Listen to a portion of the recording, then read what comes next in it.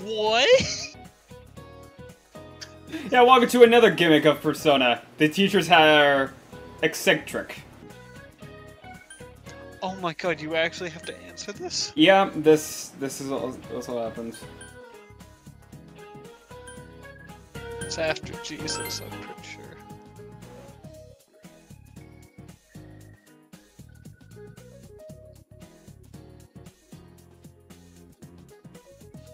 After death, wasn't it? After death, doesn't it refer to the crucifixion? Here, now, now I actually have to look it up.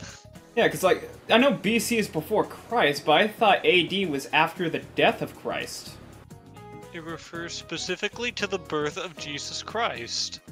What the fuck kind of logic is that? Then what the hell is the after death factor for? I thought it was after death. I thought so too. Hang on. A D meaning. Oh, is it just Latin? Is that what it is? Is that ju- is that just what it is? It's just Latin.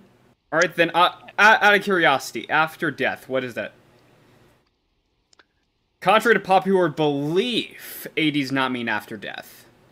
Fuck.